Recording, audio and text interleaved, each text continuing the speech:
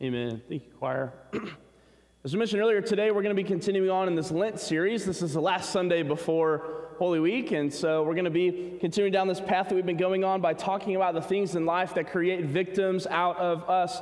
We've talked about how we are victims to our own temptation, we are victims to our health, we are victims of our, of our pursuit of reputation, we are victims of our pursuit of greed. But Christ has claimed victory over all of those things. And so we can live in the victory of Christ over all of it. And so today we're going to be talking about how we can overcome our desire to put on a good appearance, to keep up with appearances. And as, as, a, as a white dad pastor who's about to kiss his 30s or 20s goodbye, thank goodness not my 30s, his 20s goodbye, noticing some things are changing in my life. I brush my hair like this because there's more of my forehead showing than there has been in my life before. My metabolism that didn't keep up with me before doesn't do me any more favors now. It's not a lot of fun to be experiencing some of these changes, and I think it lends itself well that as maybe I talk about my hair or going out of style or my weight or whatever, some of you are thinking, like, yeah, right, just wait. But it's exactly why we're talking about overcoming our desire to keep up our appearance. We can't do it.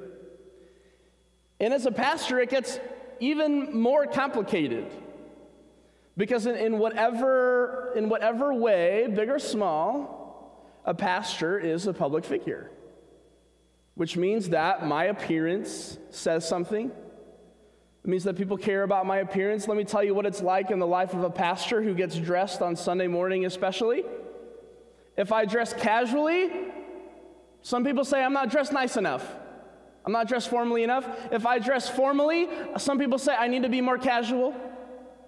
And some people altogether just say, cover it all up with a robe. So I don't say this because all of those are, are culturally created constructs. Actually, by the church, you have been instructed in those ways. I bring that up to say it's a losing battle. No matter what we do, somebody doesn't like it. There's nothing that we can possibly do about it. So, what are we to do? Especially when you take into account that the church has only complicated this issue further. Because in some church, you, you walk, this is why church websites and Facebook pages and all that are so important. Because before going to a church, what's the first thought you might have? Well, what am I supposed to wear? Can I wear jeans? Do I need slacks? Do I need a jacket? What do I do? The church has made this more complicated by having some services that are to- totally, completely ornate some that are totally casual and laid back. So we confuse you, and we confuse you to the highest level. Let me show you a church. This is in Bethlehem in Israel. This church is wild. Uh, this is it's it's run by the Greek Orthodox and the Armenian Church. So what you're seeing right here is a very ornate, in our culture, gaudy experience, right? This is not a place that most of us would feel too terribly comfortable in we might look at this and, and think about a, a, priest who's wearing a long robe and maybe like a tall, pointy hat, right? And that's what we kind of experience. I've got another shot that shows you the altar place kind of from the side. It's breathtaking when you're there in person. It really is, but it's different. But it gets crazier than this. Are you ready to see what's behind me when I take this picture? Let's see. That's what's behind me. Would you believe those are in the same church? Would you believe those are in the same altar place, essentially? See, that's confusing, isn't it? One, this look, the other look we said we would expect a priest with a long white robe and a tall hat. And this one, we would think this is where Friar Tuck hangs out. You know what I mean? Totally different experiences. So, the church has instructed you to think that appearances matter and appearances make a difference. But the church has also made the same mistake that we all make, which is that appearances can become an idol to the point where everything has to be perfect, and non appearance can become an idol. That we have to strip it down so much that our appearance no longer matters. So, what are we to do?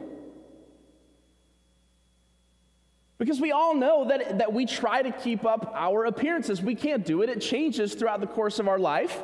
Because at one moment, when we're young, we want to try and look older, and when we're older, we want to try and look younger. People with straight hair want curly hair. People with curly hair want straight hair. People with light skin try to make it look darker. People with darker skin try to make it look lighter. When we get older, we might concern that, be concerned that our skin is getting looser and, and more wrinkly. We, we care about what's happening, how much hair we have, or what color our hair is. It changes throughout the course of our life, but the one underlying undeniable factor is that you cannot win. You can't win. We are never content with the way that we look, which often is why we try so hard to make ourselves look good because we want to try to convince ourselves that we're good with it, that we're content about it, but we're not. And thus lies the obvious problem we recognize with trying to keep up with our appearance is that we are never happy. And our focus changes from something that matters to something that really doesn't because it, it bothers us. It would be easy for me to tell you today as a pastor, you know, the outside doesn't really matter. It's what's on the inside that counts. I just told it to the kids, it's true. But the reality as a pastor is like all of the stuff that I just listed that I'm starting to go through stinks. I don't like it. I think about it, it bothers me. But now what happens is this my, my, my, gaze turns away from the things in my life that matter and working on the things in my life that matter toward what do I look like? And then what happens further with this ideology is that then oftentimes what we pay the most attention to with ourselves is the thing we pay most attention to in others. When I'm so focused on my own appearance, often the first thing that I do is I notice the appearance of somebody else. And it sets the tone for everything I think about them. I make all of the assumptions in the world about who they are, what they think, how they live, based on the way that they look. And this is why all over our scriptures from beginning to end, it warns us of the deceitfulness of appearance. Appearance is deceitful. You have wolves in sheep's clothing, you have sheep's in wolf clothing. It warns us of the deceit that happens when we take appearances on the outside level only, and we never go deeper with ourselves and with others. And I can tell you, God doesn't care about your appearance. God has created you in God's own image. Scripture says you're fearfully and wonderfully made. It doesn't mean that your appearance in our world and our culture might not matter or make a difference entirely. It just says it's not important to God. If we want evidence of this, let's take a look at Jesus. Jesus, King of the world, Son of God, could have easily come into our world as a king, a beautiful king, ornate and decorated with everything the world would say makes a positive appearance. But he doesn't. That's not the love of God. That's not who Jesus came to love, who Jesus came to serve. Jesus came as a poor Jewish man from a nothing town. See, appearance is bigger than just our physical attributes. Jesus appeared as Mary and Joseph's kid. Out of Nazareth. Can anything good come from Nazareth? Jesus doesn't care too terribly much about appearances, and this is why it bothers him that some of the religious leaders of the day focused on this appearance so much. We've talked about Jesus butting heads with the Pharisees over their obsession with their reputation, and appearance only adds to their reputation. Jesus is, is, is living his life, and we've reached, reached a moment later on in the story in the life of Jesus or he's growing, he's growing tired of these encounters with these religious leaders.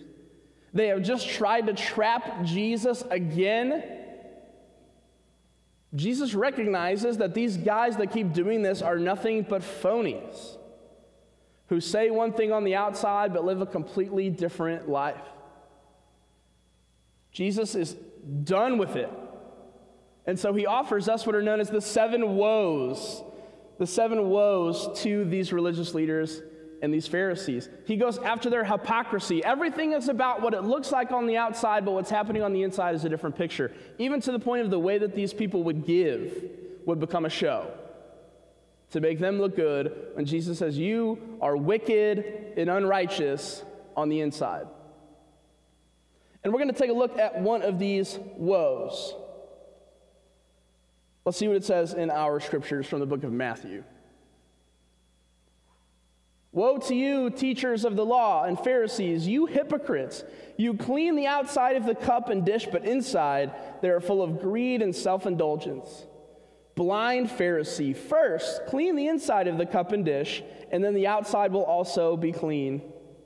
Woe to you, teachers of the law and Pharisees, you hypocrites! You are like whitewashed tombs, which look beautiful on the outside, but on the inside are full of the bones of the dead and everything unclean. In the same way, on the outside, you appear to people as righteous, but on the inside, you are full of hypocrisy and wickedness.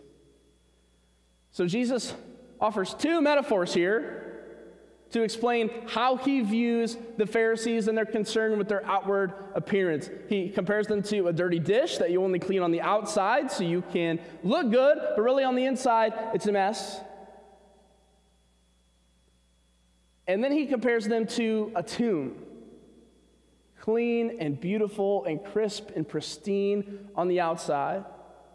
If you've, if you've seen the, the Jewish culture, tombs are a big deal. Where they're located, what they look like. It's a big deal. So Jesus is taking something that mattered deeply to these people and trying to get them to think differently about it. He takes a metaphor that would have been significant to them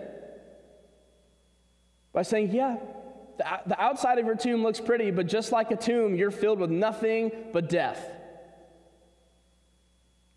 You look good on the outside, but you're a mess on the inside. We should pay attention to the fact that when Jesus has had it up to here with these hypocrites, that something that's on his list of things to mention is appearance. We should pay attention to the fact that when Jesus mentions all of these things that bother him so greatly about these religious leaders, that they're concerned about the way that they looked and the way that they come off, Jesus is sure to mention. That should raise red flags for us when we think about how we live as Christians and the teachings of Jesus.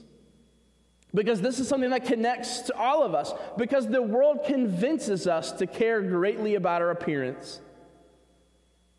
Any, uh, any good clothing company needs to convince you that their item is supreme, that it is luxury, and that you are a luxurious person if you have that on your left breast or in your bag.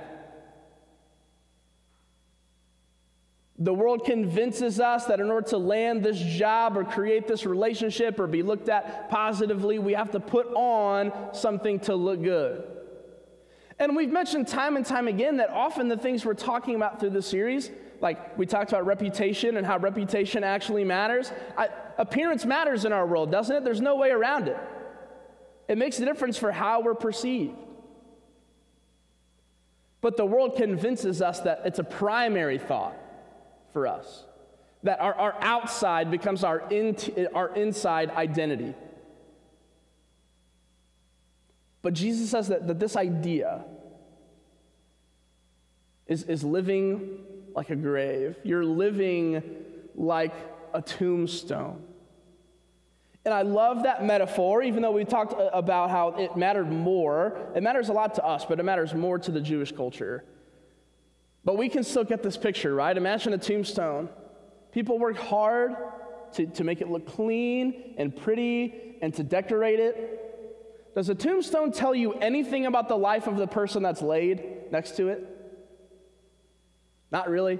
It might say, you know, father of whoever, mother of whoever, how many kids or grandkids that you had, that you were loved. But does it really give you a picture of the type of person that that tombstone is honoring? It doesn't. It means, it means nothing. We, we decorate it and honor it in the sense of honoring the person which is worthy, but it doesn't tell us anything of what's actually in the grave. I have to imagine that if we replace tombstones with like an indestructible glass top to look into the tomb, we probably would have less visitors in our cemeteries, wouldn't we? We wouldn't want to go visit our, our long lost friend anymore because there wouldn't be anything to look at, or what there would be to look at, you wouldn't want to. So we live our lives to keep up with outward appearances, but we are dying on the inside or already dead on the inside. But Jesus, so Jesus uses this analogy of a grave to explain why we need to pay attention to what's going on the inside and not worry so much about what's happening on the outside. So, as we try to keep up appearances because the world tells us we have to in order to be worthy, in order to be loved, Jesus says, frankly, I don't care what's on the inside or the outside for you to be loved. I care about what's on the inside more than what's on the outside, but you don't have to clean up the outside to talk to me. You don't have to clean up the inside to be in a relationship with me. See, I think, I think Jesus is having a little bit of foreplay as we're a couple weeks here for, from East, a little foreshadowing here as we head toward Easter. We're a couple weeks away, and Jesus says, like a grave, I'm going to pull you out of the grave. You are pulled out of the grave. There's nothing left inside of your tomb, and you're going to walk out of it just like I have walked out of the grave. So, what's in it no longer matters because there's nothing in it. The only thing in it is life and life everlasting. So, why do we focus so much on what's happening on the inside when Jesus empties us out just like a grave? And even if our even if the way that we keep up appearances doesn't doesn't live like the Pharisees, we're intentionally trying to hide something that's going on inside. We all buy into this idea of keeping up appearances. We all do. Let me give you an example. Jesus also talks about how it's like a, appearances are like a dirty dish, right? Where we clean it on the outside, but it's dirty and dusty and grimy. And think about, you know, it's got, you know, red stain on the inside of it from your wine or whatever. You don't want to drink out of it. This is, this is just like my house. This is just like my house. Because, because let, me, let me tell you something about the way that I, the way that I live and a difference between me and, and my spouse. I want, I want my house tidy. I don't want stuff to be a mess. Because despite the fact that I have a toddler, like God forbid someone who comes into my house think that there are toys on the floor or that there are dishes in the sink. So I, I just want it away. I don't care where it goes, it can just get shoved in the closet as long as it can hide because it's out of my way. But Brittany is much more like she, she, can, she can live with the mess for a while. But then when it's time to clean, the label maker comes out. We go to the store and we get tubs and boxes, and we do this thing right. See, see, I think, I think that, that that way, that Brittany's way, is much more Christ like. Because it's, it's, not, it's not concerned about appearance. The way that I do it is only concerned about appearance. The way Brittany does it is she says, the appearance is what the appearance is. Let's clean our dish and let's clean it right. My way is much more pharisaical. Hide it in the closet. I, I don't, I don't want to show what's the mess that really is my life. I can't let people in because they'll recognize that it's a mess. Brittany's way is much more, we all got a mess. Let's make sure we, do, we, we clean it right. And so the question for us today and how we can apply this to our lives is, is what, what do our closets and cabinets and dishes look like in our life? Not literally at your house. Is it a place that you stuff your mess to hide it and cover it up? Or are you much more comfortable and open and recognizing that this is just life? This is just the way life happens. Aging is a part of life. Changes are a part of life. And I'm okay with that. But what I'm not okay with is my cup being so dirty that I won't drink from it. What do your closets look like? But, eh, but there's, there's a way that we can claim and experience victory over our focus on appearance.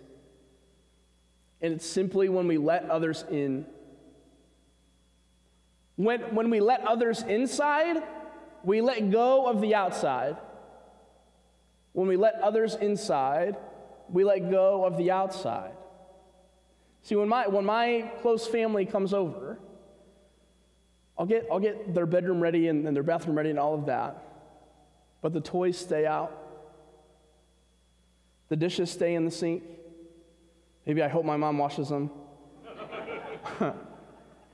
but the mess stays out. Why? Because I, I don't care. Because they know my inside, they know my heart, they know my life. That appearance doesn't change the way that they view me as, as a son, or as a pastor, or as a husband, or as a dad. So the mess stays. And oftentimes, yeah, they're there to help us clean it up. And our faith community is just like that. Our faith community is just like that, but we have to be brave enough to let them see our messy closets, to let them see our, our, stuff, our stuffed up and disgusting uh, cabinet or closet that we've just hid everything in to cover up the mess.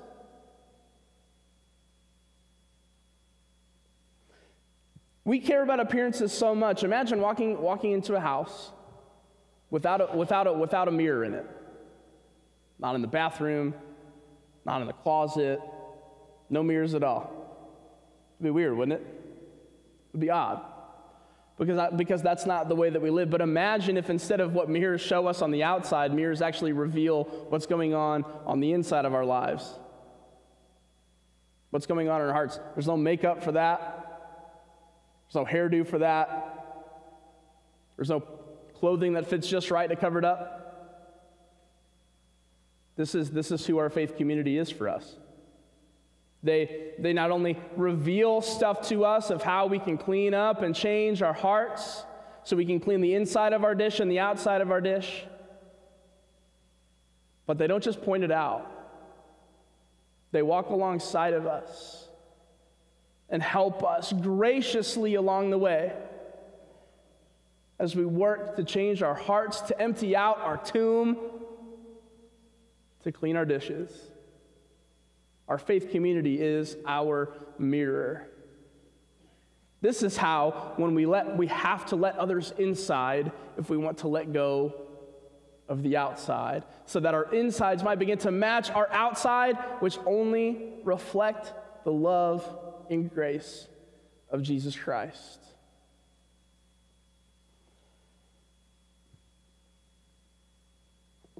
And you know,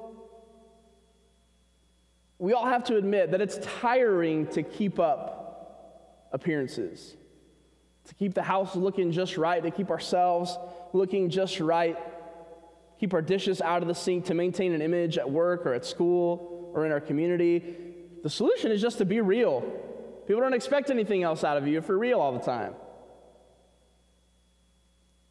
And oftentimes, our financial situation is a factor in our appearance. The American dream big house, fancy car, a display of wealth and extravagance. But to live the way of Christ and to start to uproot this focus and concern with appearance, we can begin with letting go. And letting go of the money we use to keep up with our appearances. By giving of our finances, we take ourselves off the throne and put God on it instead. We start to pay less attention to how we might be perceived and more attention to the way that God perceives us. To be more attuned to the needs of others. We start to pay less attention to their appearance and begin to care more about their well being. Which is why this church community is so important because we provide that kind of love for each other and we provide that kind of love for those around us as well. You know that right now um, our special offering is going toward the United Methodist Committee on Relief. They're having efforts in in Turkey and northwest Syria. I don't know if you saw over the weekend, horrible, devastating tornado in, in Mississippi. And I'm sure they will be, if they're not already, they probably are. They will be on the ground there soon. This helps with disaster efforts all across the world, and 100% of your gift goes directly toward the assistance that they provide. You can do that in the small baskets in the back, and you can contribute to that online as well. You know, all the ways to give to all the ministries of the church, they're all before you. You can give online, by text, by mail, by dropping it in the office or in the offering box here in the back of the sanctuary as well. And as we prepare to grow in our generosity, I want to share a prayer with you. Almighty and restoring God, we have been living through some difficult days as churches and as individuals. We experience days when we rise wondering if we will make it through one more day, whether the church will survive for another generation, and we feel like dry bones in the valley. As we offer our tithes and offerings, help us to hear the words of faith, not just with our ears, but with our hearts. That you call us back to life and service out of the graves of despair in which we buried ourselves. It's in Christ's holy name we pray. Amen. Amen. Let's